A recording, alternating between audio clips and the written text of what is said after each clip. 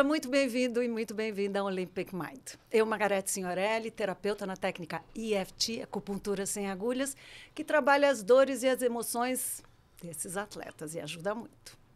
E a minha companheira de quadra, companheira aqui, né, gente? Porque se ela depender de mim no vôlei, não vou nem contar o que acontece. Não acontece, né?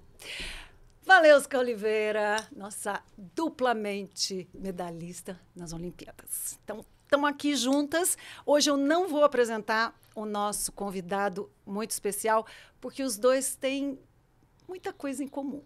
Então eu vou deixar para ela. E eu vou começar com os nossos patrocinadores. Então vamos lá, Empório Magistral. Gente, as suas fórmulas, com certeza, não tem risco de contaminação, porque não tem de contaminação com doping, né? Então você não precisa se preocupar, tá? Uh, as fórmulas não têm efeitos colaterais, as vitaminas para prevenção de doenças e longevidade, o que to todos nós queremos, né? Atletas, a gente faz esporte, mas também quer longevidade. E todos os produtos naturais sustentáveis e com alta tecnologia. As fórmulas são personalizadas, é isso que faz diferença, né? Então, cada um com a sua fórmula. E uma coisa muito legal, eles não testam em animais. Isso é demais. E agora o Vita, onde eu faço a minha fisioterapia. Então, é referência nacional em ortopedia e fisioterapia. Os médicos foram ou são atletas, então você se identifica com eles.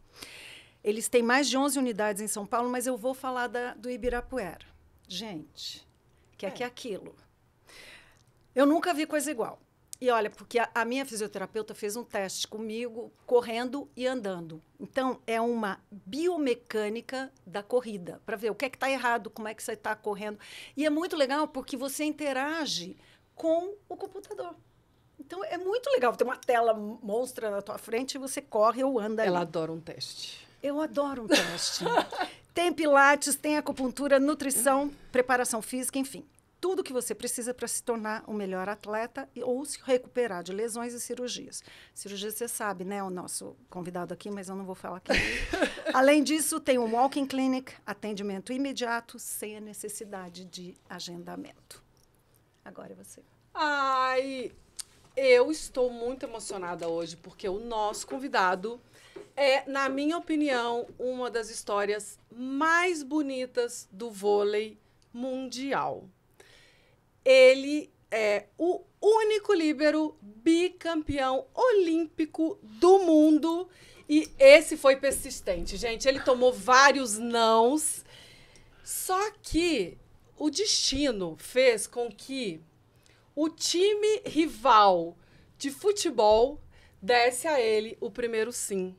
Estamos aqui com o excelentíssimo Serginho do vôlei escada, que eu sou apaixonada. Você sabe da admiração que eu tenho eu por você. Sei. Eu já tô é apaixonada é também.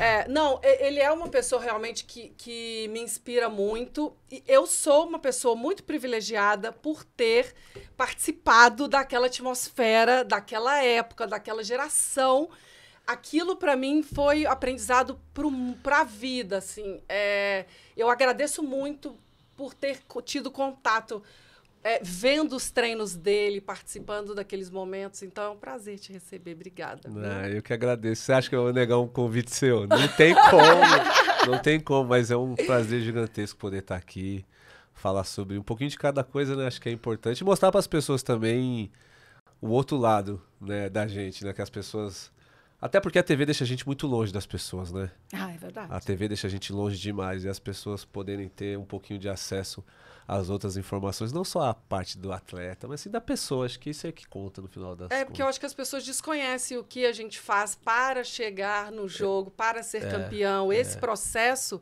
sim. é o que a gente quer trazer aqui, né? Isso é Falar é um pouco de, dessa preparação para uhum. ganhar vocês viram aqui? Gente, é medalha, medalha, medalha, medalha, medalha. Eu tô aqui encantada, porque no, você entendeu? A gente sempre tem as nossas duas medalhas que fazem parte de todos os nossos podcasts. Sim. Mas hoje a gente está assim. E o peso? Tem noção do peso ali. E aqui também tem presentinhos, tem não muitos. tem? Empório Magistral mandou para você. Ah, Eles mandam obrigado. sempre um kit personalizado. Muito obrigado. Ó. E esse é o Vita Nosso segundo. Depois você abre. Não, mas eu trouxe também um presente pro programa, que é uma camisa Opa! do nosso CT Voleibol House. Eu sei que você não vai querer mais jogar voleibol. mas eu tenho certeza que na hora que você for dar aquela corridinha Ó, na praia, você vai colocar. Eu prometo que quando eu aparecer lá pra bater uma bolinha, eu vou Essa essa você me camiseta. deve. Obrigada. Vai ficar aqui com a gente. Vamos deixar bom. ela aqui na mesa. Vamos. Margarete, é com você Ah, é agora. comigo. Não, eu tava esperando você dar os É. presentes, né? Qual foi, de todas, a sua maior dificuldade, que, a, a dificuldade que você enfrentou para ser atleta do vôlei? A Maior pior. dificuldade. A dificuldade a gente tem todos os dias, eu acredito. É, mas eu sou de um- uma geração que começou a trabalhar muito cedo, né? A minha geração, o nosso sonho era ter a carteira registrada aos 14 anos, né? Para poder ajudar o pai a mãe. Ainda mais a gente vindo de, de, um, de um bairro mais humilde, de ter pais mais humildes, entendeu? Então eu lembro que a minha maior dificuldade é, era, era realmente poder vencer na vida. Né? Não, não, não era nem ser atleta de voleibol, era poder vencer na vida e dar orgulho pro meu pai e pra minha mãe, porque eu sempre tive muito medo dos meus pais. Né? E meus pais vieram de uma lavoura de café no norte do Paraná e eles vieram para São Paulo, vieram tentar sorte grande em São Paulo. E a gente chegou muito novinho, eu cheguei muito novinho aqui em São Paulo. Que idade? Eu cheguei com nove meses. Eu cheguei com nove meses. Eu só nasci no Paraná e a gente e meus pais vieram pra cá com a roupa do corpo pra tentar alguma coisa pra sair da, da, da roça de café, que era muito dura aquela vida. Então, na realidade, eu acho que o voleibol é, foi um- uma oportunidade que, que, que eu tinha pra vencer na vida. Mas eu tenho certeza que se eu não fosse atleta de voleibol, eu ia dar orgulho pra minha mãe de alguma forma. Eu ia dar. Mas só uma perguntinha aqui, eu sei que estou roubando aqui um pedaço seu. Você foi pro Palmeiras, o primeiro, certo? Você Certo. acha que foi reza de mãe? Não. Não, mas é o time dela? Não, é o time do meu pai. Ah, do pai. É, é o time do meu pai. Ah. Porque eu lembro quando o Brasil foi, foi campeão olímpico em 1992, com aquela geração de Sim. Tandy, Aham. Marcelo Negrão, Giovanni, Maurício. Só se falava em vôlei no país em 1992. Os caras eram chamados de Golden Boys, né? Era impossível chegar perto dos caras. E naquela época eu era adolescente, então todo adolescente queria jogar voleibol. Todo adolescente queria ser um Maurício, todo adolescente queria ser um Giovanni, um Marcelo Negrão. Eles contaminaram uma geração. É, ali. foi, foi essa geração, porque o voleibol em 92, com o ouro olímpico em Barcelona, né? Técnico Zé Roberto, e essa geração fez com que as pessoas jogassem vôlei na rua. E aí começou as peneiras, né? Poxa, aí pra você entrar no clube, até porque naquela época o, o voleibol era um esporte mais elitizado. Hoje não. Antigamente era um esporte elitizado, né? Então, pra você jogar vôlei, você tinha que ter uma rede. Você tinha que ter uma bola de vôlei, você tinha que ter uma, uma quadra, quadra. tinha que ter os postes. Quer dizer, você tá num, num bairro simples, onde você vai ter uma quadra que tem a rede, que tem os postes, né? Naquela, hoje, é, hoje tá mais fácil de se jogar. Então a gente ficava jogando voleibol na rua, amarrava uma corda lá, ficava jogando voleibol na rua. E aí fala, não, vamos correr atrás disso. E aí a gente começou a fazer as, as tão sonhadas peneiras, mas que também que era um pouco traumatizante também, porque Eu já falei não é dos nãos, né? fácil, não é fácil. E eu fui. E meu primeiro clube que eu fui fazer peneira foi no Banespa. Porque o Banespa era referência no Brasil. O Banespa era o, era o clube que todo moleque queria jogar no Banespa. E não passei. E você já era grande, né? Eu tinha de 13 para 14 anos já. Não, grande de altura também. Não, eu, eu sempre tive essa altura. Na adolescência, eu parei de crescer. Foi até bom não ser tão alto. É, claro, né? Porque é, o voleibol passa e a vida continua. eu fico com dó, eu fico com dó da galera que tem 2,5, 2,10. E depois que acabar o esporte, acabar o alto nível, a vida continua. Continua. Aí é, não tem jeito. Ser, ser muito alto é ruim. Não, não tem calça jeans. Ai, fica não tudo... tem tênis. ah, não tem sapato. A cama é pequena. Você vai viajar no avião, o avião é pequeno. É. É o, você vai bater a cabeça no chuveiro. Provavelmente você vai casar com uma pequenininha. Ô, Sérgio, sabe que me perguntaram esses dias, eu estava no evento na quinta-feira, quinta-feira passada, é, se, se era para mim um problema ser grande.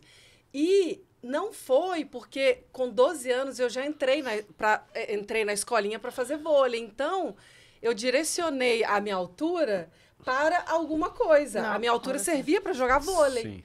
Então, e eu já tinha minha tribo, né? Porque a gente já aí a gente já encontra a nossa tribo dos grandes. E aí a menina era realmente a mais alta das, é, das, da- dos jovens que, que a gente vai mentorar na Casa 700.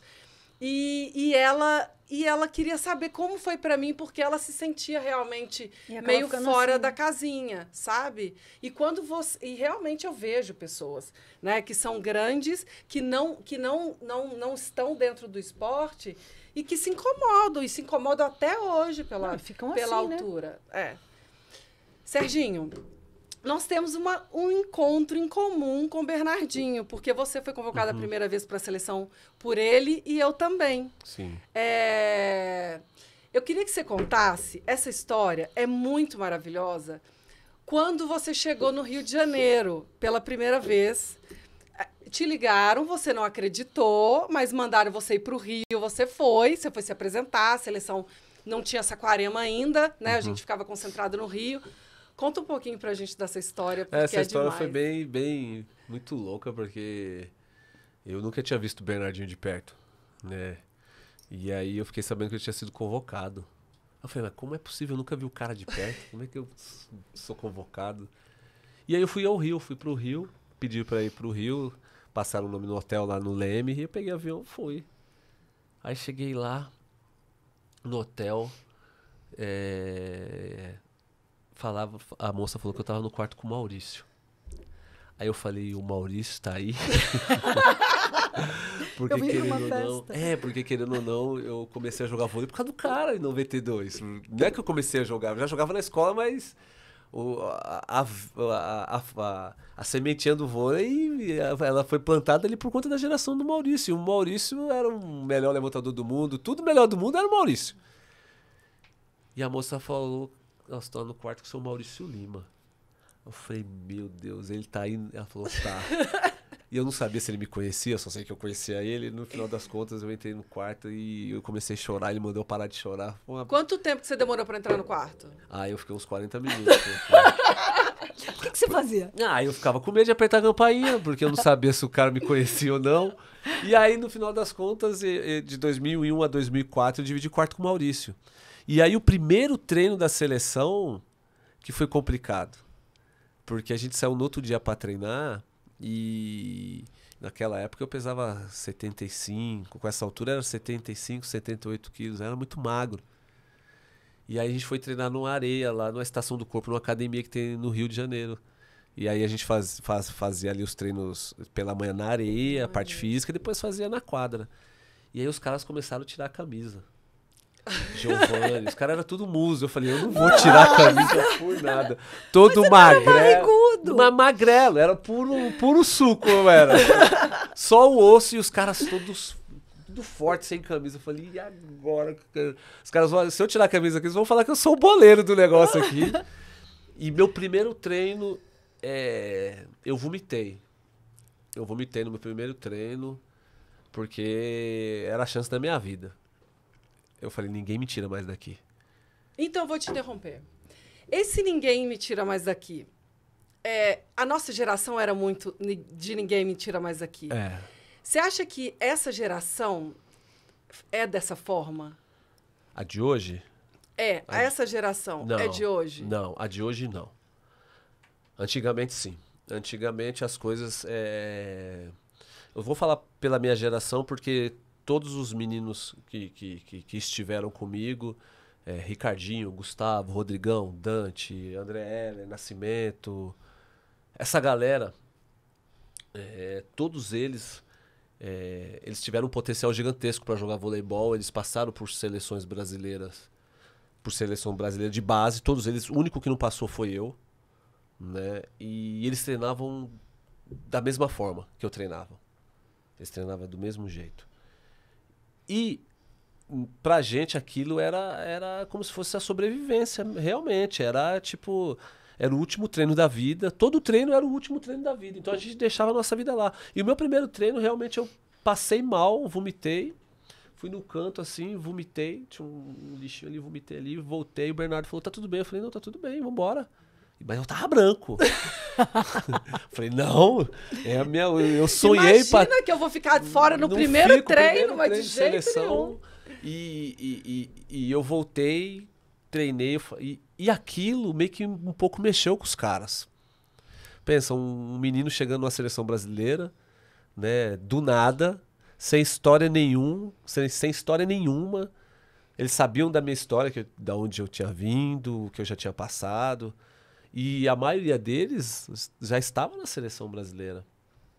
Eles, todos eles tinham uma passagem pelas categorias de base, alguns tinham sido campeões mundiais, né, juvenil, por exemplo, e eu não tinha, eu não, eu não tinha. E eu cheguei, e eu acho que naquele treino ali, o, o conceito dos valores de entrega mudou um pouco para os caras. Os caras falaram, eu acho que o caminho é esse aí também. Então, a gente tava o Maurício, tava o Giovanni, tava o Marcelo Negrão, é, nessa convocação, o Gilson também estavam, e os caras já tinham passado pelo sucesso. Os caras já tinham Eles já eram visto, campeões Os caras já eram olímpicos. campeões olímpicos. E eles não tinham lugar garantido na seleção brasileira.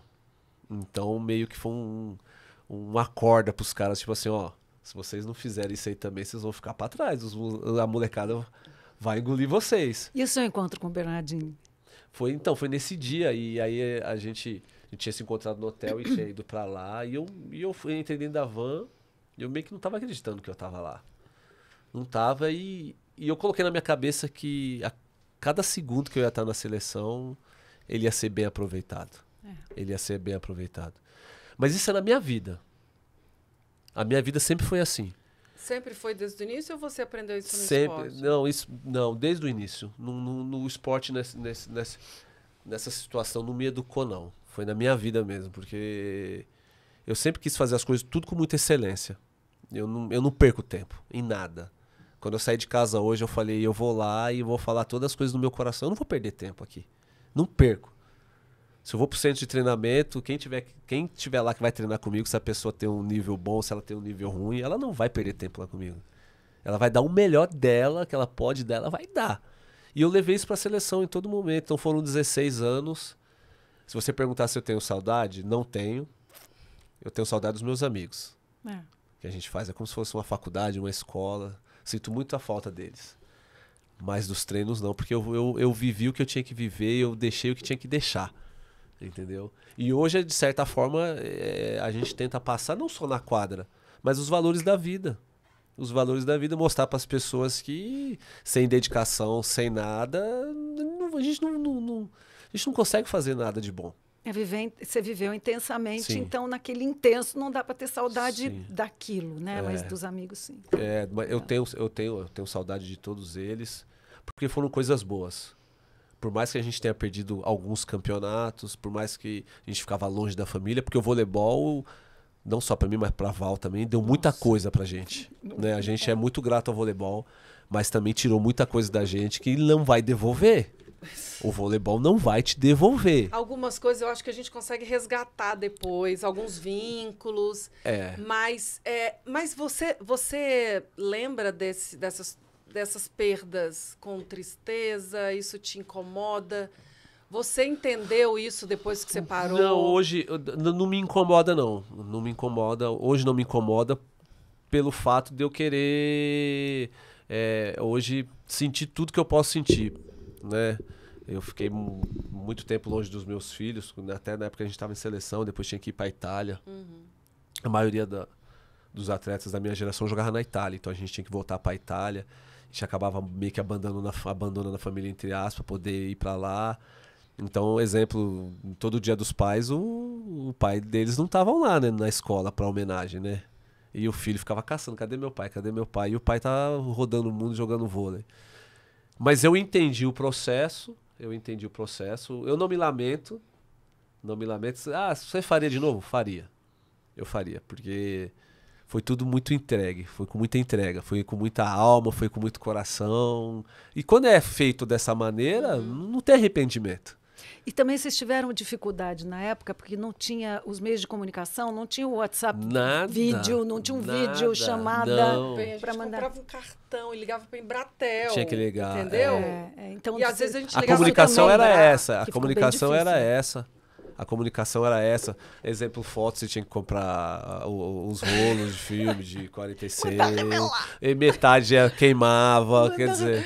É... Tem um pessoal aí que não tá nem entendendo é, o que, é que gente tá rolo de filme, mandar revelar. Hoje, hoje, tá, ah, hoje, tá, hoje, hoje, hoje tá tudo muito mais... mais hoje, fácil. hoje, não é, hoje tá tudo ali, não é... Então a pessoa não vai dar tempo dela sentir saudade, ela vai sentir a distância, mas a saudade ela não vai sentir, que ela pode pegar o celular e fazer uma chamada de vídeo, ela vai estar de frente com a pessoa que ela, ela quer falar. Não dá tempo. Eu acho que isso tempo. também faz diferença. Faz. Na geração de hoje e na geração de vocês. Também essa coisa de sentir falta, é tudo muito mais doído, muito mais entrega. É, mas eu, eu, eu acho que esse combustível, ele vinha pra gente de uma forma boa. Com assim, resultado. Eu, fiquei, eu tô ficando tanto tempo longe da minha mãe e eu não vou perder esse negócio. É. Entendeu? É. Isso virou, eu, eu tenho é. que aproveitar isso de alguma forma, né? É, é o que eu, perder tempo. Eu tô aqui longe da minha mãe e dos meus filhos, só que eu não tô perdendo meu tempo. Sim. Com certeza, se você não tivesse se dedicado tanto, essas medalhas todas não estariam aqui. Também. Exato, né? Também. Se, se, a sua entrega fosse mediana, essas, essas medalhas nem, não estariam. Nem de aqui. perto, nem de perto. Mas isso é, é por isso que eu falo, a gente, de certa forma, a TV deixa a gente muito longe das pessoas. As pessoas encontram a gente na rua falam, não, não é possível. É a Valesca, é o Sérgio. Parece que a gente é intocável e não é isso. Então, não mas é. é. o jeito que a gente vê. Eu brinco com a Valesca porque eu falo que é pra gente vocês não são humanos, porque é uma coisa assim que é o ídolo. Então, mas, pra mim... mas aí quando eu encontro vocês, tem vontade de apertar, então, entendeu? É, pra mim, que quando, é verdade. quando eu vejo essas coisas assim, eu tento mostrar pra pessoa que não é isso. Para eu que sei, Eu Exato. sei, mas é o jeito que a gente vê, porque a gente nunca vai imaginar que vai cruzar. A primeira vez que eu vi a Valesca, eu falei, gente, é, é, é. uma coisa assim que você fala, uhum. eu só vejo na televisão e a gente não tem acesso. Mas, então, e, e, assim, a Valesca também pensa da mesma maneira, a gente usar isso a nosso favor, no sentido de mostrar pra pessoa que, olha, é dessa maneira aqui, sabe? Uhum. Mas é por isso que a gente tá aqui. Até porque hoje as coisas estão tão muito fáceis, assim. As pessoas, hoje, é, os objetivos de muitas pessoas que eu vejo é, não, é, não é ser uma referência dentro da família. Não é ser. Não. É ser famoso. Ah, sim, com certeza. É. As pessoas elas se sentem na obrigação de serem famosas. É.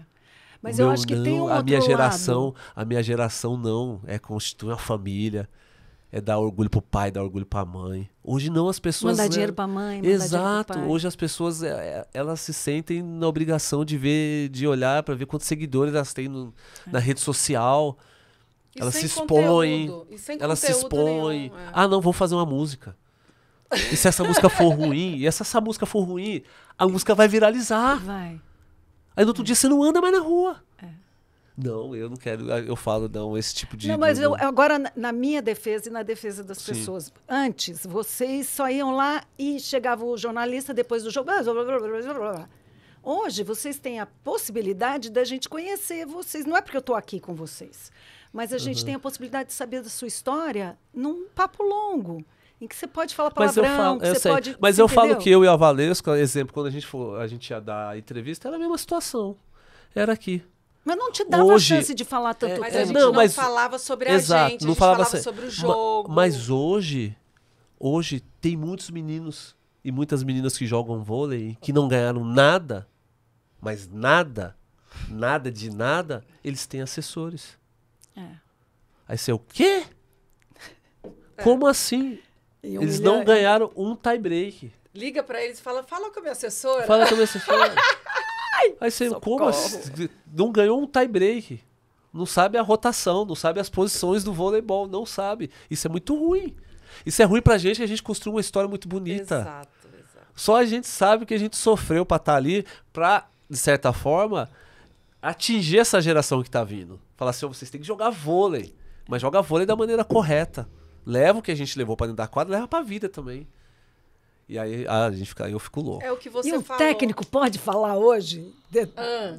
Né? O que ele quer. Vocês têm que jogar vôlei! Ele, eu acho que o técnico gostaria de falar muito, mas hoje então, ele não hoje pode. ele não pode. É isso que a gente estava falando hoje, antes. Hoje, hoje não está podendo eu falar não poderia daquela ser forma técnica. assintosa, do jeito que era. Porque hoje existe um código, né?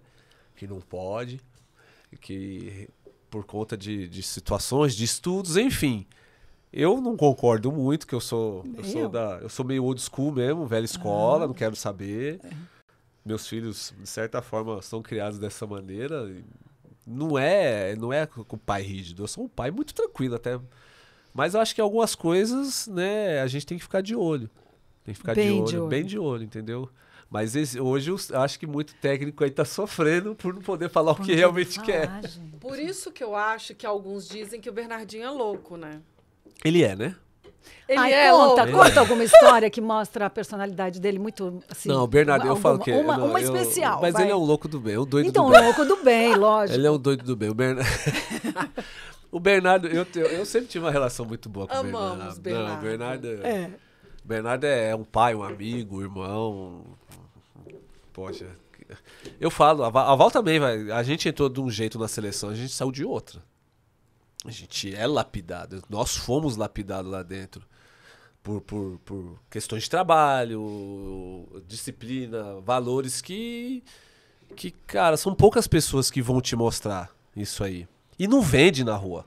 Não vende no supermercado. Você chega no supermercado, me dá um quilo de disciplina, ela não vai vender. Não vai. Não vai vender. E essas coisas são de graça. Vocês já perceberam que isso é de graça? Ninguém vende. Isso é de graça pra gente. A pessoa, ela aprende se ela quer. E tem muitos que não querem. Então o Bernardo, eu sou um. Ele, ele, ele é um. Eu falo que ele é um doido, mas ele é um doido do Não, então conta um, conta um de Não, vocês. mas tem várias, assim. Do Bernardo tem é, várias. Conta uma, bem. Mas tem, depende qual sentido que você quer que eu conte. Eu já tive várias brigas com ele. A gente já se divertiu bastante. Tem Não, vamos de coisa. briga, né? Não, briga vamos de é melhor. briga. Não, é, é, briga era quase todo dia. Você enfrentava ele? Não, não enfrentava. É que do jeito que ele falava, voltava pra ele. não, não, não, não jamais ia enfrentar o Bernardo. Muito pelo contrário. Mas é porque é um homem. Homem, eu acredito que homem tem uma relação mais fácil de resolver as coisas do que as mulheres. Eu acredito. Posso estar, se eu tiver Com enganado. certeza. Porque 15 homens, exemplo, se eu chegar num lugar que tiver 15 homens que eu não conheço, eu vou fazer amizade com os 15 e todo mundo vai se divertir. Mulher. Mulher, eu já não sei se chegar no lugar, as 15 mulheres vão fazer as amizades. Claro que Não, não! Então, é- imagina! Homem é muito mais Faz uma fácil. panelinha aqui, pronto. Homem não leva as coisas pro coração. Mas você discutia? Você fa-. Se ele falasse, você não tá bom hoje, você falava, por que não, não? ele não falava. Não, ele não falava que a gente estava bom. Era, era algumas questões de, de, de, de, de, de jogo mesmo, no próprio jogo. Mas no, no, no- no treino a gente não discutia, não. A gente ia e fazia o que tinha que fazer. Ele cobrava. Ele cobrava, vamos, vamos, vamos. E a gente ia, a gente entendia. Mas aquilo que eu falo, homem tem uma visão diferente da situação. Homem consegue absorver e não levar. Acabou ali, ó. Sim. Acabou. É, isso é muito Tá legal. tudo certo. Não ficar remoendo. Ah, é. Ele falou que eu não sei o quê. É, Mas é. nunca. Vamos É, tomar uma cerveja e tá tudo, tudo, né? certo. Tudo bem. E tá tudo bem. Eu acho que a mulher tem essa dificuldade Tem. porque ela realmente leva pro coração. E é muito mais.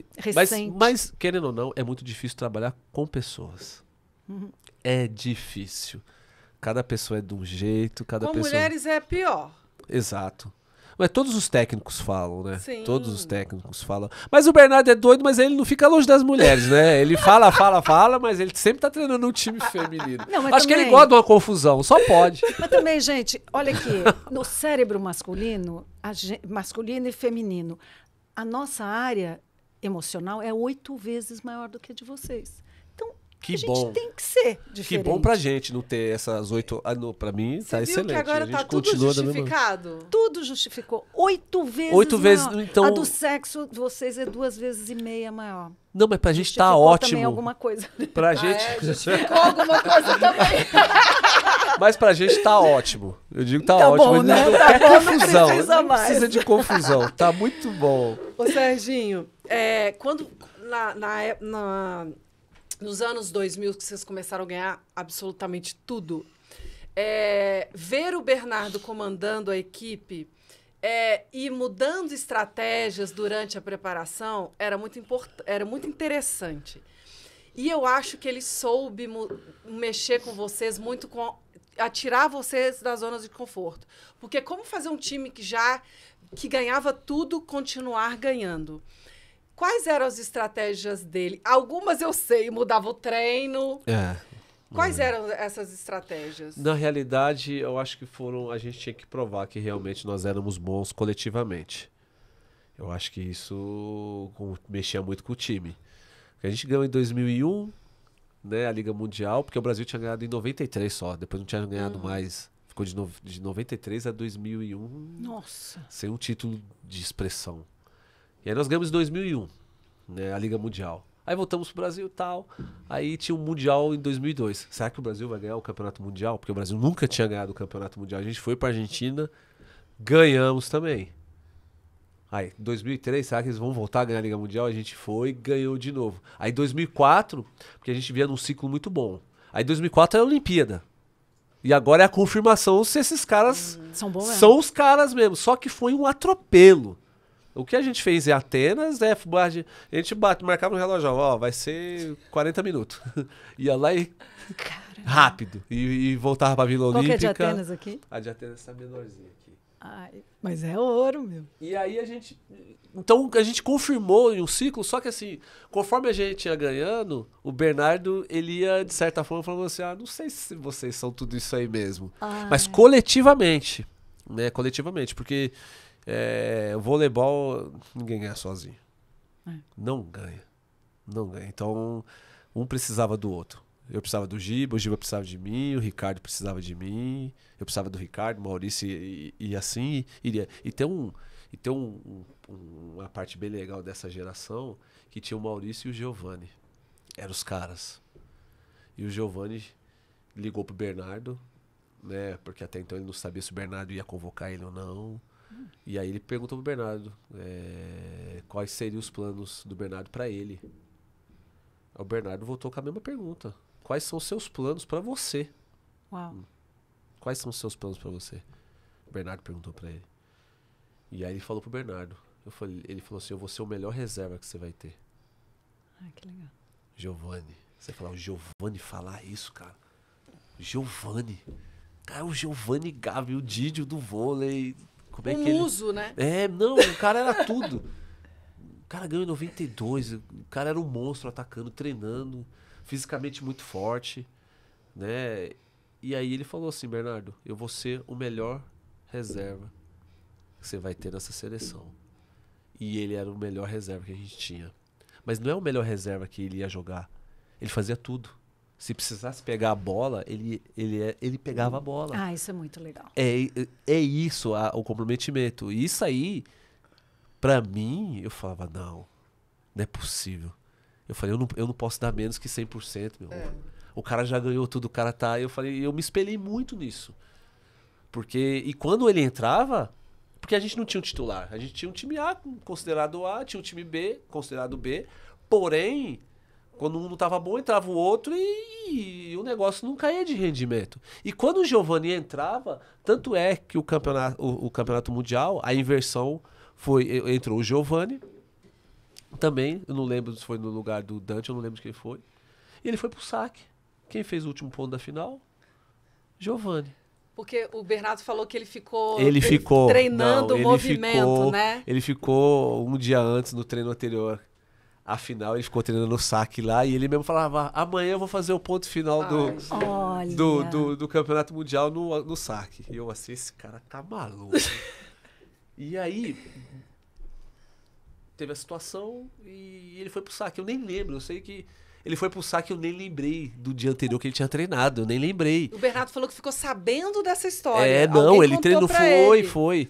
E aí o, o Giovanni foi pro saque.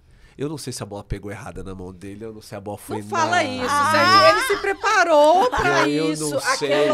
Mas, não, ele se preparou. Isso realmente ele se preparou. Mas assim, eu não ia me preparar nunca pra Nunca. bater na bola errado. Né? Você se prepara pra, você se prepara pra fazer a coisa certa. Mas não pra bater errado na bola, pra bola ir pra Você linha. acha que. Exatamente. Você não, você não vai naquele, É, naquele não. saque mirar ali É, Não vai. pra fazer um E foi coisa de louco isso aí. E aí até 2004... Na hora você lembrou, depois Exato. que ele fez o gol. E ele foi importante também na final, na nas finais lá em Atenas também. Ele mobilizava o grupo, ele colocava uma lousa lá e, e escrevia alguma coisa, ele pedia pra alguém escrever alguma coisa embaixo, a gente ia escrevendo. Era um bando de doido num, num sentido muito legal, de, porque cada, cada hora alguém li, tinha um tipo de liderança ali dentro. Cada hora o Nauber também tinha vindo de contusão no ombro. Mas essa história do Giovanni, é, poucas pessoas sabem. Quando o cara falou assim: não, você é o melhor reserva que você vai ter. O melhor reserva. E eu vou incomodar os titulares. E ele incomodava. Então os caras tinham que ralar. Ai, Porque se ele não ralasse, o Giovanni tava aqui, ó. O Giovanni tava pronto para entrar. Essa história é maravilhosa. Essas referências são, elas são muito importantes e eu acho que a gente não vê isso nessa nova geração essa o sacrifício pela equipe. Você se sacrificar como jogador, porque foi isso que ele fez. Exato. Eu sou o campeão olímpico e eu vou para o banco sim para ajudar essa nova geração a ser campeão de novo. Então é muito bonito. É eu me emociono sempre quando eu falo dessas gerações porque assim é uma coisa é uma coisa de amor mesmo pela seleção, de, de vestir a camisa, de defender o Brasil. É muito bacana. Serginho, é, você é líbero, uma, uma função que não faz ponto. É, como que era para você lidar, lidar com isso? E você, é, em muitas vezes, em várias situações, não era o jogador principal. É, óbvio que a gente sabe, quem conhece do vôlei sabe da sua função, da sua importância, mas o você sabe que não, é, não era o, a posição do Libra não era visto como o jogador que pontuava mais, que se destacava mais, porque você não faz ponto.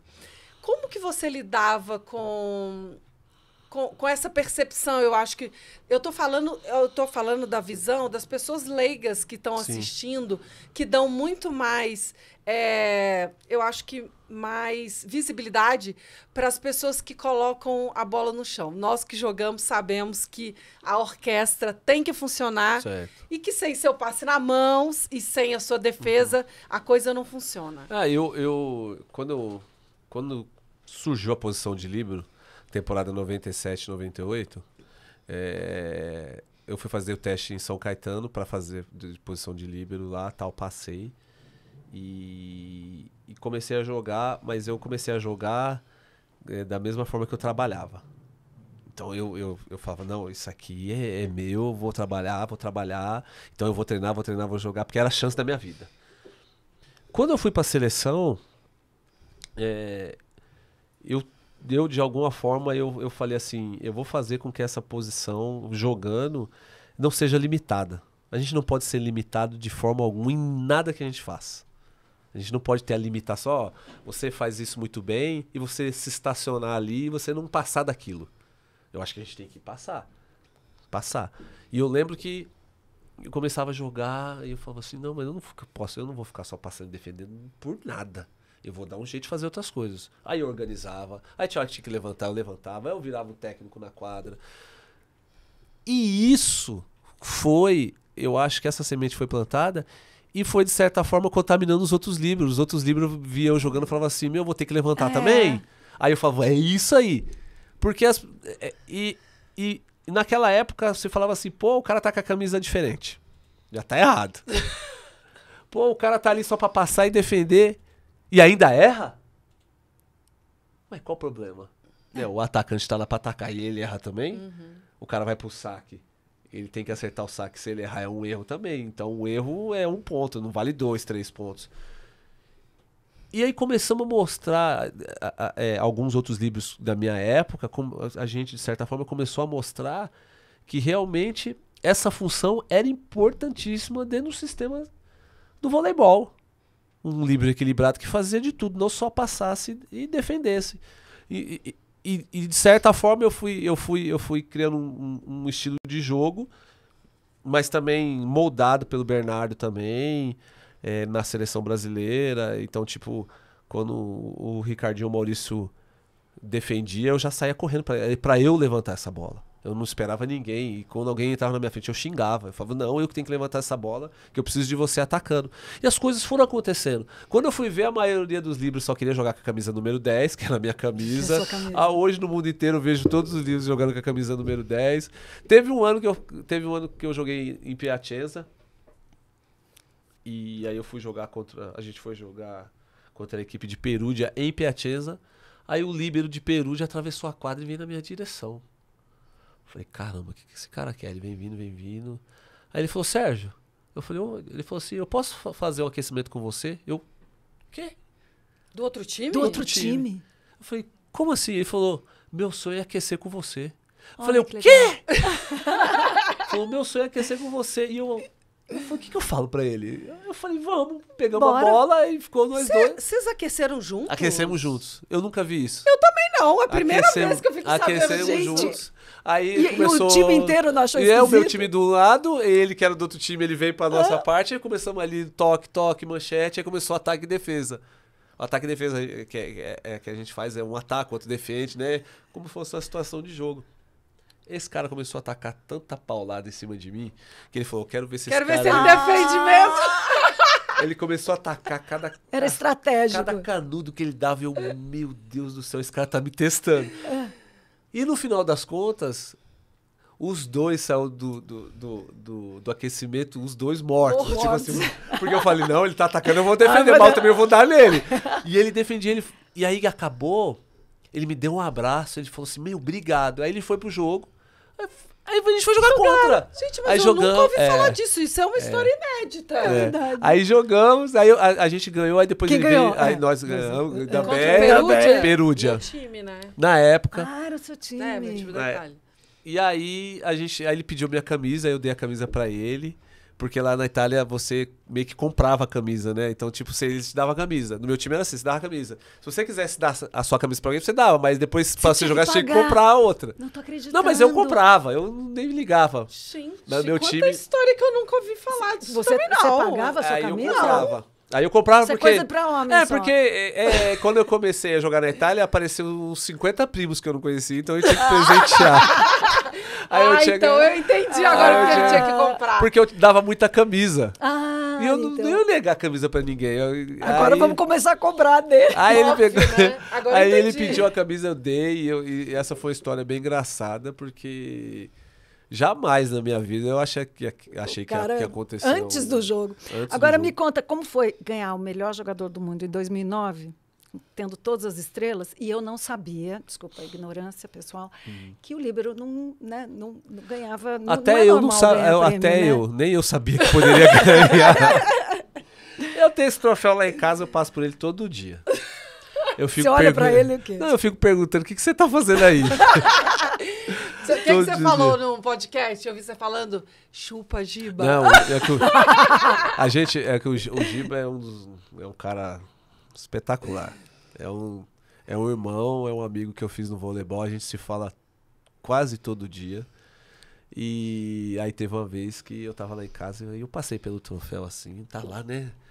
Casco, né, Val? Passa, falei, caramba, o que, que esse troféu tá fazendo? Eu falei, ah, peraí. Peguei o telefone e chamei o Giba. Aí ele atendeu. Ai. Aí eu peguei o telefone e falei, chupa, trouxa, tá aqui. Aí ele falou assim pra mim, eu tenho mais um set desse.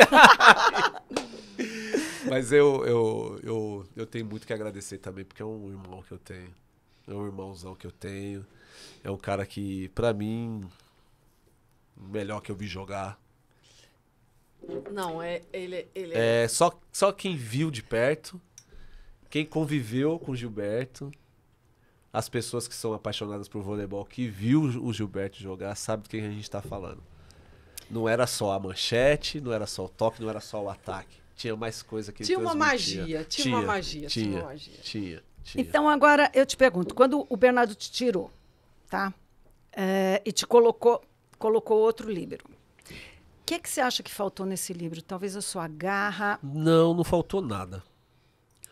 Eu acho que foram um- um- uma, uma parte. é, não posso dizer que a mídia do voleibol, mas as pessoas foram muito maldosas em fazer comparação. A gente não compara ninguém com ninguém. Uhum. E os meninos sentiram um pouco a pressão. Né? E, eram, e, eram e os meninos que estavam lá, que estavam, eram bons líberos. Realmente bons líberos. Ganhavam Superliga, os meninos eram bons. Só que o, o, o, povo, o público do vôlei, que os, o- até então os entendedores de voleibol, começaram a fazer comparação. E não compara ninguém com ninguém. Não é pra comparar os líberos com o Serginho, não é pra comparar o levantador com o Ricardinho. Não se compara. É que pressão muda a pessoa. Mas aí é que tá. Então, você acha que Eu você que tinha mais controle sobre as suas emoções? Eu sempre tive, mas esses meninos, não- eles tinham esse controle. Mas essa pressão, porque todos eles esperavam que eles fossem jogar da mesma forma que eu jogava. Não é, ele, cada um tem sua qualidade. Cada um O que, tem- que você fazia para entrar num jogo antes? Você tinha alguma técnica? Meditava? Eu não acho que você meditava, mas o que, que você fazia? Você tinha- Eu estou falando isso por causa que no IFT, que você está vendo os Sim, nossos sim. bonequinhos lá, a gente vê muitos dos atletas. Em 2016, teve atleta entrando na velocista entrando na quadra, fazendo IFT. Então, os atletas no mundo estão começando a fazer IFT, os profissionais.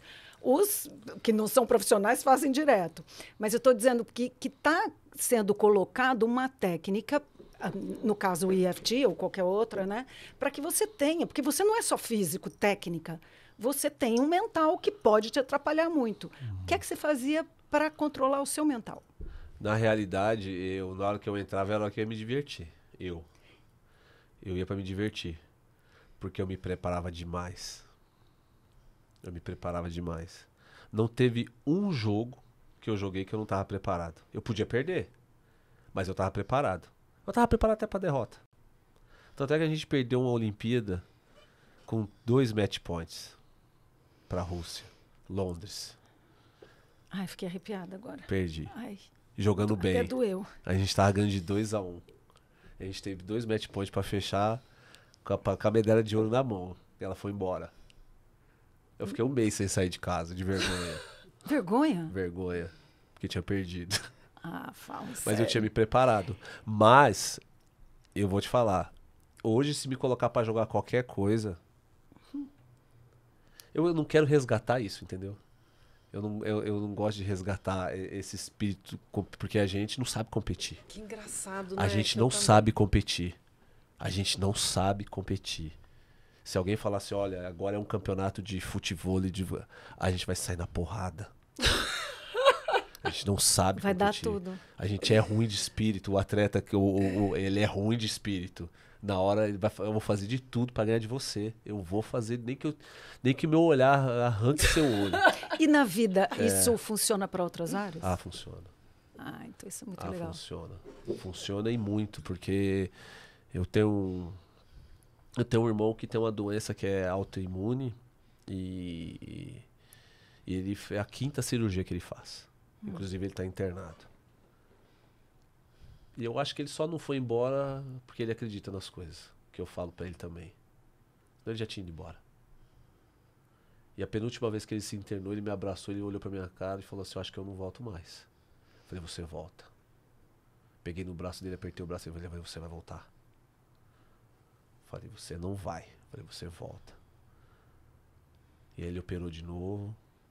Ele tá internado. Eu acredito que ele deve sair amanhã ou terça ou quarta, terça, quarta-feira. E essas coisas a gente leva pra vida. Se eu demonstro fraqueza pro meu irmão, ele tinha ido. É, Uhum. Ele tinha ido. porque ele Eu ia tenho um fraco. amigo, eu tenho um amigo que ele, que ele me contou uma história que a irmã dele tava com câncer. E os médicos chamou ele e falou, a sua irmã tem três meses de vida. E a irmã dele perguntou pra ele, o que, que o médico falou? O que, que o médico te falou? E ele sabia, ele falou, eu vou mentir pra minha irmã. Você tá bem. Você tá bem, tá tudo certo, você não tem mais câncer, nada. Essa, essa mulher viveu mais 10 anos. Certeza. É. Sabe que essa, pre- é, o, o que o Serginho fala dessa preparação, que eu acho que é o que dá coragem pra gente na hora do jogo. Porque é, eu falo mesmo, o treino tem que ser mais difícil mesmo, mais, É. mais duro, para que quando você chegue na quadra, você esteja preparado. Então, a- é, não tem essa coisa de não sei se dá, se não dá, se eu vou acertar, se eu não vou errar. A insegurança Se não você- pode vir de forma Ela alguma. não vem se você se preparou bem. Não vem. Então vocês sofreram no treino, então vocês Demais. Muito, Demais. E o, que, e o que, que você acha que está faltando? O que falta na seleção para ganhar 2024? Seleção brasileira de vôlei, É. pra ganhar, Olha, eu, eu, eu acho que hoje, tecnicamente falando, tem muitas seleções que estão à frente da nossa seleção brasileira. Tá um passo à frente. Mas eu acho que a seleção também tá no bolo. Tudo pode acontecer. Tanto na masculina quanto na feminina. É obviamente que os trabalhos hoje eu não sei como é que é, né? Da época que eu tava, como eles treinam dessa maneira. Eu- eu- como eles treinam agora. Você a gente acompanha um pouco? Não, do- eu, eu gosto, eu assisto. Eu confesso que eu assisto, porque a gente torce, querendo ou não, é. Sabe aquele você teve tantos anos ali, você fica torcendo. Me parece que você tá sempre muito envolvido, assim. Eu tenho essa percepção. Não, não, não, não, não, diretamente com a seleção hoje não. Mas sempre falo com os meninos, sempre falo muito com o Bruno. E assim, mas as outras seleções também, o alto nível ele é muito igual. O alto nível. O alto, em tudo que a gente faz, o alto nível é tudo com excelência. Então, co- como a seleção brasileira treina bastante, a seleção polonesa treina igual. Os americanos também treinam uh, italiano, os caras treinam pra caramba. E é detalhe. Então hoje não tem uma fórmula, né? Vai treinar, vai treinar, vai treinar e chegar e juntar um bando de doido e falar assim, vamos pegar o que é nosso e ir pra cima. Obviamente que as outras seleções também treinam, né? Mas aquilo que eu falo, a minha geração é os caras tinham um parafuso a menos. A forma que a gente fazia. A, pra- gente- a feminina É, também tinha A gente- parafuso a menos, do jeito que vocês Não, eu acho que não. Eu acho que a gente, é, depois de 2004, f- que foi muito dolorido Sim. ali em Atenas, vocês Hum, lembram, você lembra muito bem disso. É, depois que a gente perdeu, a gente teve que ressurgir mesmo, assim. Porque as amarelonas, né, chegavam, gente- nó- é, esse Eu acho que foi um combustível a mais de provar para as pessoas que, que, que desacreditaram das minas chegar e falar assim: olha, não, não, a gente tem nosso valor. É por mais que eh, nesse momento a gente não passou, porque 2004 realmente foi um fantasma para a seleção feminina. E doeu na gente. Porque a gente Nossa. estava lá. A gente estava assistindo, a gente parou Exato. o treino para torcer. Nós paramos. E essas meninas como se fosse irmã da gente. A gente estava ali com elas ali. E, e aí a gente chegou na Vila Olímpica e a gente vê as meninas arrasadas, como se tivesse perdido um, um parente, um ente querido. Não. Não, e, e pra gente olhou, e a gente, de certa forma, olhou e falou assim: a gente não quer isso pra gente também, não. Né? Mas só que as meninas conseguiram sair de um buraco. Mas Sair de do um buraco é mais difícil, né? buraco, De um buraco mais fundo que tem- eu tenho certeza que essas meninas elas perderam na bola. Perderam na bola. Acontece. Mas a forma que foi e a forma que crucificaram essa geração é que a maldade. eu Acho que aí É, foi é que as- maldade. na hora do, né, na hora do, do vamos ver, as mulheres não conseguem performar. Não, tem, é- é, o mental não, não vai. Então, a- nós fomos até Taxadas. colocadas em questão. A nossa, a nossa, a- a- o feminino foi colocado em questão nesse momento. Gente, Então, o- foi, foi Exato, realmente muito exato. profundo, assim. Ah, elas. Então, eles, eles, de certa forma, eles colocaram mais de que, tipo assim, a seleção brasileira sentiu. Não porque perdeu. Perder faz parte do processo. Normal. Normal. Vai, vai, você vai chegar aqui um dia, vai fazer um podcast, você não vai estar bem, mas você vai fazer. Mas você sabe que você não entregou o que você tinha que entregar, mas você fez. O resultado não veio, beleza. Mas colocaram que, tipo assim, o resultado não veio porque elas sentiram o jogo. E não foi isso. Elas perderam porque perderam. Perderam. Tiveram a chance? Tiveram. Não fizeram. Pagaram um preço muito caro. Eu acho que pagaram muito mais do que deveria pagar. E pra sair disso aí, pra provar, olha, a gente não é dessa maneira. Essa aí Tanto foi é que- foi duro. Foi. Foi. duro. Eu e Fofa, nós sabemos sim. disso. Sim, fofão é. Fofa é irmã. Agora vamos falar de rivalidade. Aqui desse lado era Cuba, né? Do, do feminino. E quem que era o rival de vocês? Eu acho que era o mundo inteiro. Porque Não, a gente atropelava todo mundo. a gente não tinha, a gente não, Não cê- teve não. num momento, em Não é que alguma não dava pra eles. Não tinha. Mas teve a Itália ali. Não, mas a Itália 2004. não, mas não, não dava. Porque a Itália ganhava Rússia- tudo antes disso. Não, antes de 2001, né? Exato. Depois de gente, a gente 2000, vai- né? E Rússia? E Rússia? Mas era isso. Não, mas, aí, mas mesmo assim, é, eles eram, tipo assim, pontual. Não- eles não tinham uma sequência. Uhum. Entendeu? Então, não- e por isso que eu, não- eu falo pra você, olha, não tem um igual que era a Ele seleção tá feminina dizendo, com é Cuba. homem. Será que, que é não, isso também? Não é. Sabe por quê? A Não, seleção a brasileira, a- a- essa, geração, até antes da Val, tinha uma dificuldade com Cuba gigantesca, porque Cuba tinha uma geração maravilhosa. Mireia, Regla Bel, Carvajal, Regla Foi. Torres, eram um fenômeno essas mulheres. Todas elas. Como é que tinha. Pegasse um time masculino, não ganhava delas. Mas elas eram provocativas. Mas é sangue lá, beleza. A gente, nós também somos. Fazia parte do show Fazia dela. parte do show delas. Mas realmente, essa geração de Cuba, assim, eu não queria ter enfrentado, porque eu ia ter problema. Agora, a nossa geração, a do masculino, então a gente passou o carro em todo mundo. E não foi uma vez só, não. foi- foram várias vezes. Vocês provocavam alguém? Não. Mas a gente gostava de uma briga, mas não provocava. Tô sendo bem Ô, honesto. Serginho, você acha que pode acontecer uma outra geração como essa? Não, dificilmente, né, Val? Porque foram foram muitos títulos, né? Quatro, foram quatro finais olímpicas que a gente teve, né? É, é muito difícil. Pode acontecer, mas eu acho muito Eu difícil. também, eu Várias gerações Eu para também acontecer É, de é, é. Então, quando eu, quando eu falo que assim o mundo era contra a gente, porque realmente era o mundo contra o Brasil. Porque tá- ah, a gente jogou em 2004, em 2005 a gente vai, ganha a Liga Mundial de novo, a gente ganha o Mundial em 2006, aí 2007 vai, ganha, aí vai 2008 a gente perdeu só a Olimpíada de 2008. Mas a gente tinha ganhado as outras coisas. Mas estava no pódio sempre. Mas tava lá. Aí 2009 a gente vai e ganha a Liga Mundial de novo. Aí 2010 ganha o Campeonato Mundial de novo. 2011 ganha a Liga Mundial de novo. Aí 2012 tá na final, perdeu ali pra Rússia, porque a Rússia até então não tinha feito nada. Aí fez o jogo da vida que nunca mais vai fazer esse jogo. O e o Até oposto, hoje- O meio que foi É, para o Muzerski. É, o Muzerski, é, o jogador lá foi para ele jogou só aquele jogo. Eu não vi mais falar. Então foi pontual, por isso que eu falo que não, não tem uma sequência. Agora a geração da Val e até a anterior a geração da Val sofreu realmente. Sofreu, era, era ganhava, perdia, ganhava, perdia, perdia, perdia, perdia, perdia, ia e ganhava de Cuba, ia aquela briga, e briga, e briga. E era bonito pra gente que tava assistindo, Márcia Fu, Ana Flávia, Fernanda Venturini, Virna, Ana Mose. Ana Moza, Irida, você falava, caramba, essas mulheres vão ganhar, e você torcia, e, e era guerra. E era guerra, era, guerra, guerra total. gente. Era guerra mesmo. Mas era com a seleção de Cuba. Se elas jogassem com a Rússia, ninguém ia dar importância. Por mais que era um jogo pegado também, mas ninguém ia dar importância. Mas com Cuba o negócio desandava. Desandava. Mas, ah, mas era. mas que aí era depois a tranquila. Não, mas aí depois. A Val acho que já teve uma certa. Eu acho que. Eu posso estar enganando, mas já teve uma certa facilidade mais com Cuba. Depois. a- Depois de 99, É, quando a exato, já- é tranquilo. Quando ganhou o PAN. Você aceita provocação não, eu, mais? não, eu sempre fui muito tranquila. É, eu não Mineiro, ia dar pra né? jogar, não. Eu, eu, eu Mineiro. pulava no pescoço. Eu pulava Mineiro no é pescoço. tranquilo, O que é tá que você tudo falou bem. aí? Não, A não mineira tá tudo certo. bem, só. Imagina, alguém tem que colocar ordem na casa. então, imagina. eu não- eu não ia que, conseguir. ah, o sangue quente lá tinha, né? Vamos falar de 2016, na sua volta para a Olimpíada.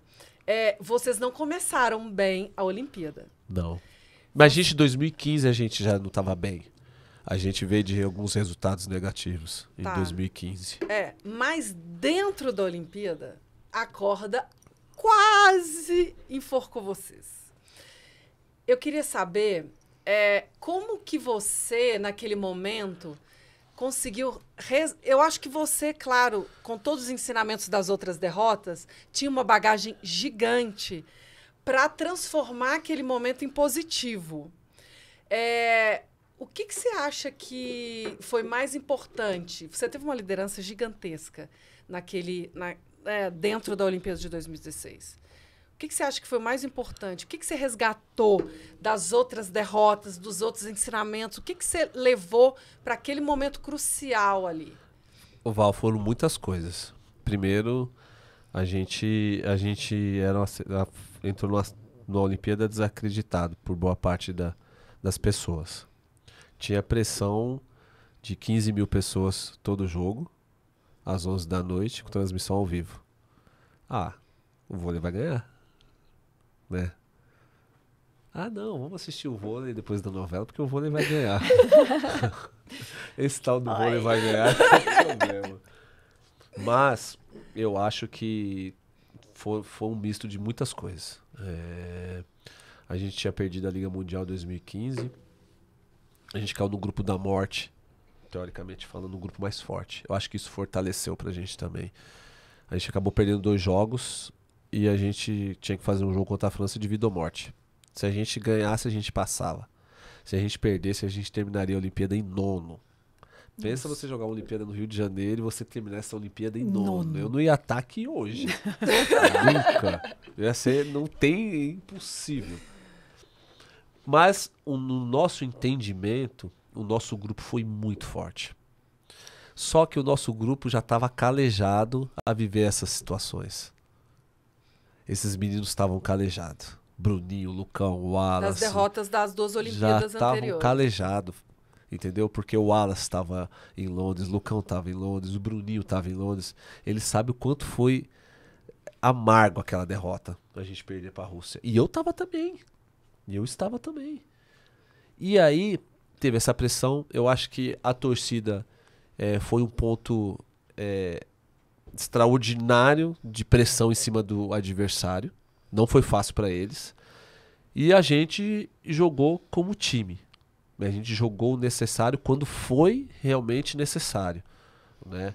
E eu posso falar que cada um deu sua contribuição. Eu dei minha contribuição, o Bernardo deu a dele, o Wallace deu a dele. Para mim, o melhor jogador da Olimpíada 2016 foi o Wallace. O Bruninho deu a sua contribuição, a sua liderança, tudo, de jogar, de ir brigar, brigar, vamos brigar, fazer o negócio acontecer. Então, a gente não ganhou é, por, por, por, é, por um certo. Tipo assim, ah, não, ganhou porque o Bernardinho conduziu muito bem. Também. Mas foi um, um, um- um geral de tudo. A gente fez tudo muito bem. Tudo muito bem. Mas aquilo, a gente passou por dificuldade dentro da Olimpíada. Dentro do grupo. O nosso grupo era muito forte. Entendeu? Aí depois a gente fez os cruzamentos, né? A seleção feminina já tinha caído num grupo fraco. Saiu num grupo fraco. A China estava do outro lado. A China teve dificuldade, se classificou em quarta.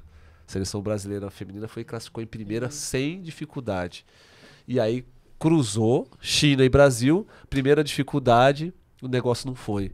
E aí a seleção foi desclassificada. O nosso já, já antes na chave, a gente já saiu perdendo. Primeiro jogo, já perdemos um 7 pro México. O nego falou: não é possível não perder pro México. Nada contra o México, mas perdeu um 7 pro México. Aí depois perdemos pro Canadá. Aí depois perdemos pra Itália. Depois aí Foram meu, e agora?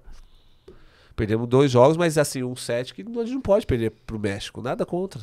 Mas a seleção brasileira não poderia perder um 7 ainda. Mas, gente, estamos na Olimpíada, estreia, já perdendo de 1 a 0 pro México. Qual a história Não, do perderam México? o toda? primeiro set É, o ainda. primeiro set.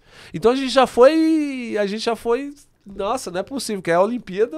E, Nossa. e aconteceu, as coisas aconteceram da melhor forma. Foram, foi tudo muito difícil. Então por isso que eu acho que ela tem um, um, um significado muito Cadê especial. aqui? Essa aqui. Gente. Eu acho que ela tem um significado especial. Teve um choro ali no pódio, não teve? Teve. Choro de quê? Missão cumprida, Val.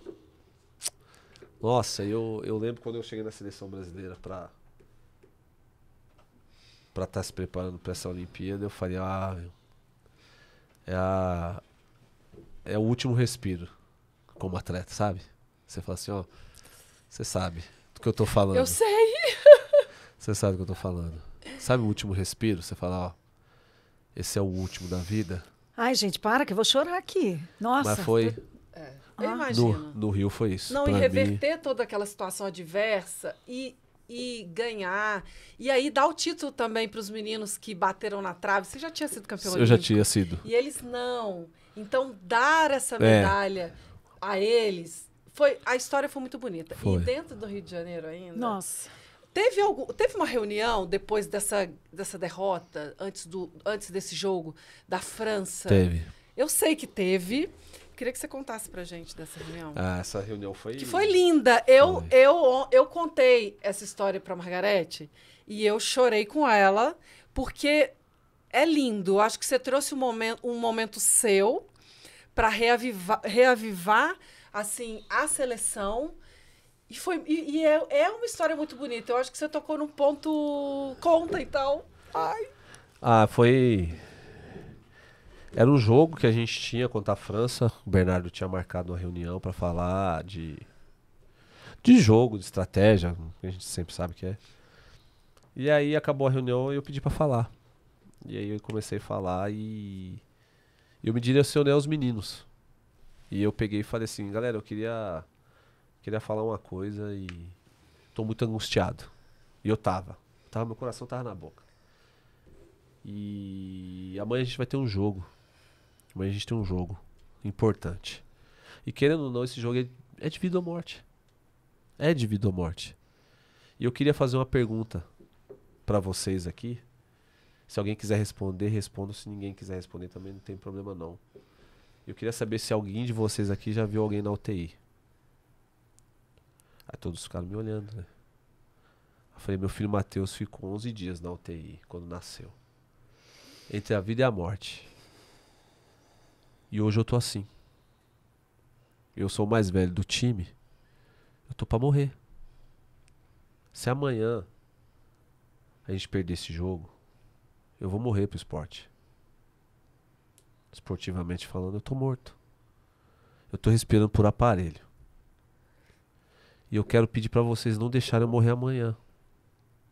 Não me deixa morrer amanhã, não. E aí eu comecei a chorar. Todos eles levantaram. E me abraçaram e todos falaram assim, ó. Amanhã você não morre. A gente se abraçou e a gente foi pro jogo da França. Não tinha como perder. Não tinha como, Como que a gente tem, como que a gente continua A depois gente disso? borra, Serginho, aqui. né? É, mu- é muito bonito. É muito bonito. É... A forma que você usou pra resgatar. Mas eu, eu falei pra eles, eu falei, olha, eu eu não tenho outra chance. Se perder amanhã eu vou morrer. Eu já tenho 41 anos. Vocês têm 22, vocês têm 25 anos. Vocês vão ter outra chance. Eu não vou ter outra chance. Se acabar amanhã, pra mim acabou. Vocês vão ter outro ciclo olímpico. É normal. Eu só não quero morrer amanhã. Todos eles vieram pra cima de mim. Que legal. Como é que perde? Não, pe- Não, Depois disso, não, é gente. porque aí Até é que eu você ia lá pra atinge quadra. o psicológico, não só a técnica, mas você atinge o psicológico deles, porque é um comprometimento com vo- é além do jogo, é um comprometimento que eles tinham com você. Mas E eu ele- sou, eu sou, Val, eu sou grato demais a esses meninos. Porque eu não tinha voltado pra seleção porque minha manchete era mais bonita. Porque meu toque era mais bonito, porque meu peixinho era lindo. Não, não- até porque não era. Mas eu voltei pra seleção pra liderar, pelo exemplo. Eu tinha que ser exemplo ali do começo ao fim. Do começo ao fim. Então se alguém desse um peixe no chão, eu já tava com o rodo pra secar. E o único que não tinha que estar com o rodo na mão lá era eu. Mesmo Era- com a operação, com os quatro Tava pinos. lá, eu tava lá pra liderar pelo exemplo. Eu tinha que ser o exemplo para aqueles caras. Eu tinha que ser. E os caras jogaram por mim.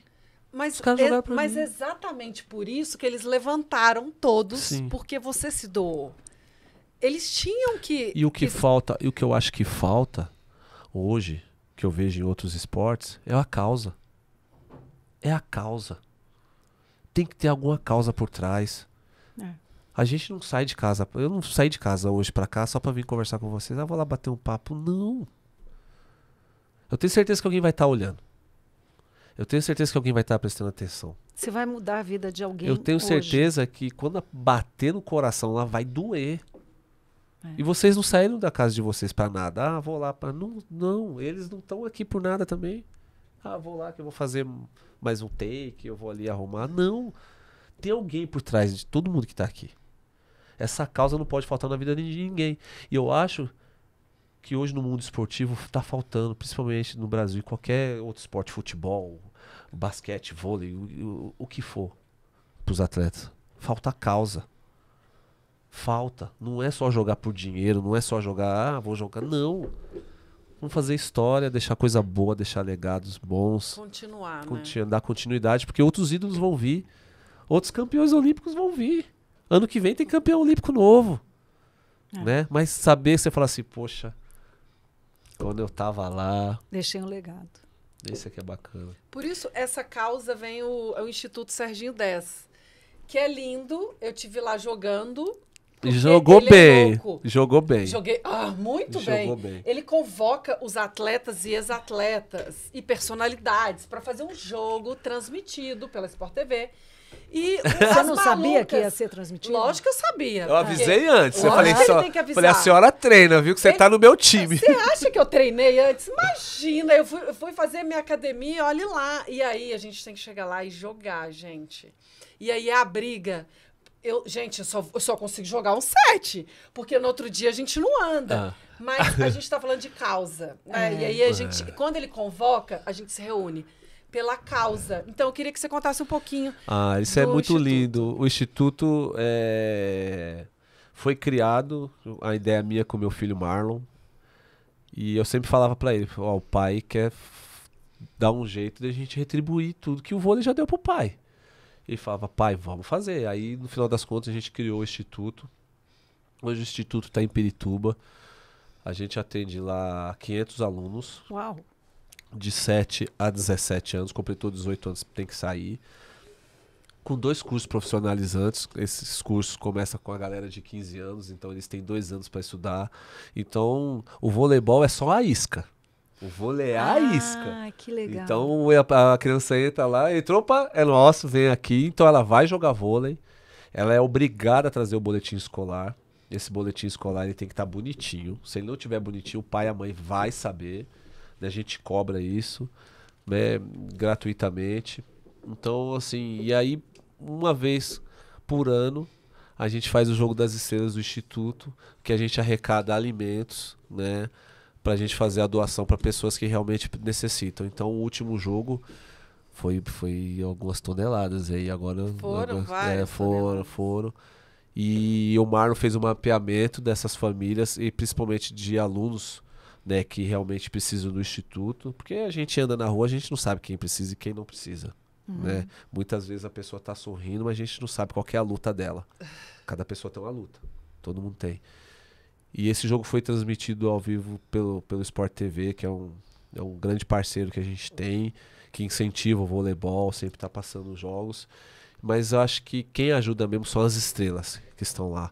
A Val tava lá com a gente, ano que vem, se Deus quiser, vai estar com a gente Não, eu de vou, novo. eu, eu vou Você tem que jogar se um preparar, sete, meio sete, Mas não a sei, mas eu vou festa, estar lá. a festa foi muito linda, foi inclusiva, foi muito inclusiva. Foi, foi. A gente levou o atleta paralímpico lá Olha, jogar também. E todos entraram na E quadra. Todo mundo entrou na quadra. A gente fez a parte do vôlei sentado, que é o vôlei paralímpico. Que muitas pessoas falam: ah, eu sou cadeirante, eu acho que eu não, não consigo jogar vôlei. Consegue sim. Consegue sim. Ah, eu não sei. Consegue. Todo mundo consegue. Todo mundo consegue. E a gente conseguiu fazer isso e a gente, de certa forma, a gente acaba atingindo pessoas muito longe de que a gente acha que não tá tão perto e que tá longe a gente consegue atingir. Foram pessoas que foram atingidas de, direta e indiretamente através da ação deles, né? Que é as grandes estrelas do voleibol. Então, Nossa, nada, Foi- gente. Serginho convoca a gente o quê? mas Vai. eu não, mas, mas eu sozinho não ia fazer. Eu sozinho não ia fazer. E todos, todos que eu chamei estavam lá. Todos Que estavam legal. lá. Isso é que é bacana demais. Serginho, ficou para mim a última pergunta. Hoje, se você tivesse que treinar um atleta, né, ou um grupo, né, um time, você teria sua metodologia? Sim.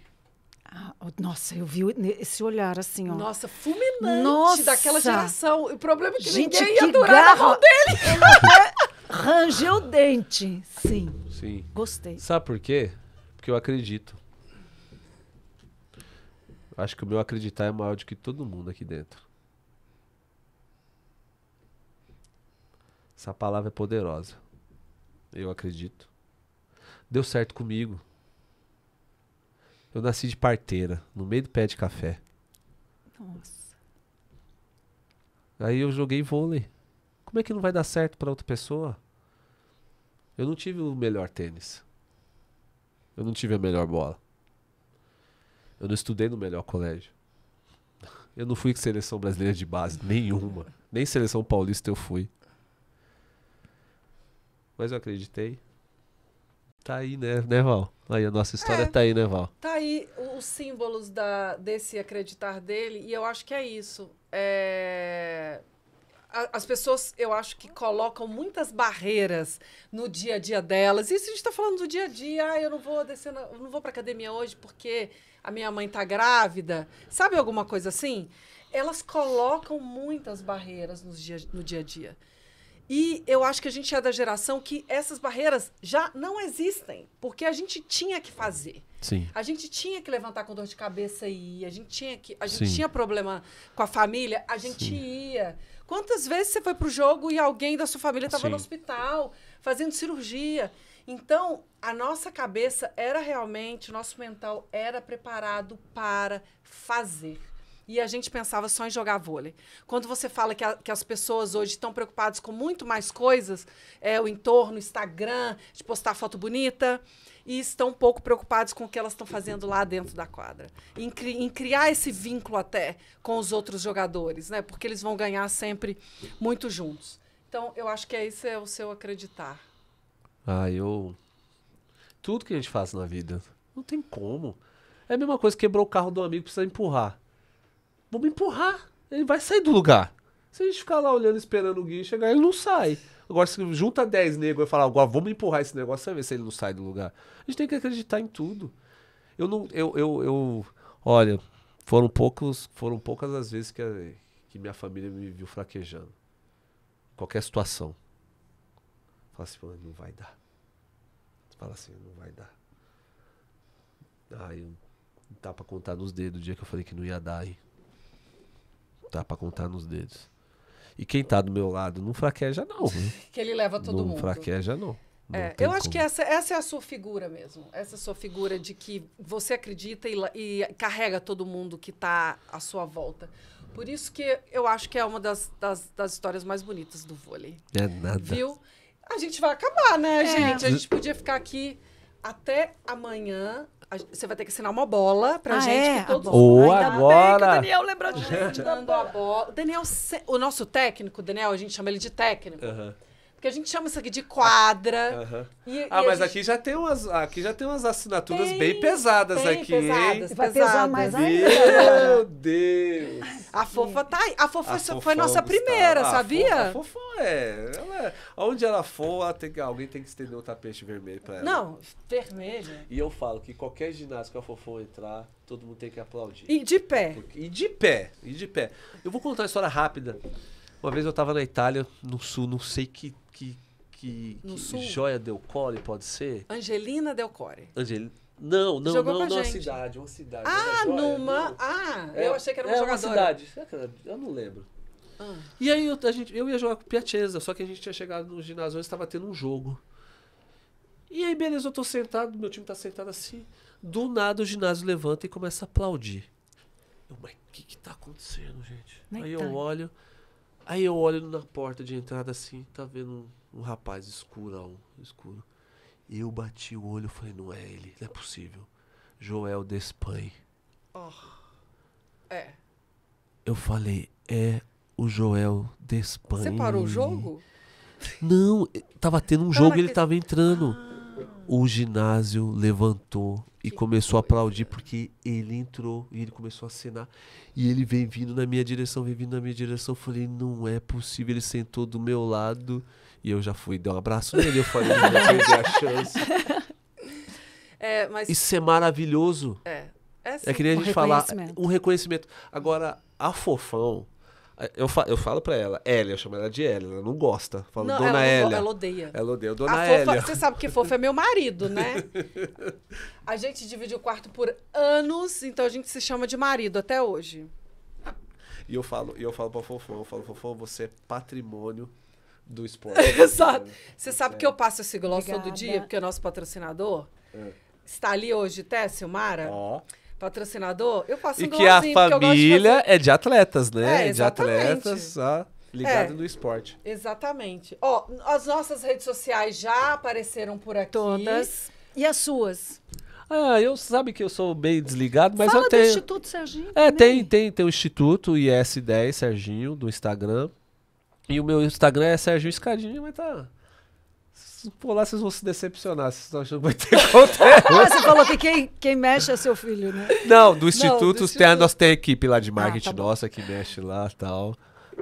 É isso. Obrigada. Vamos Obrigada. fazer uma mãozinha assim? A gente Oh, faz uma mãozinha. agora. A gente faz, fala Olympic Mind, porque o Gustavo cobrou da gente da É última isso vez. aí, então vamos falar. Olympic, Olympic um, Mind. Peraí. Um, dois, três. Olympic Olympic, Mind. Mind. Obrigada, Serginho. Amamos. Que Beijo. isso, eu que amei. Até a próxima.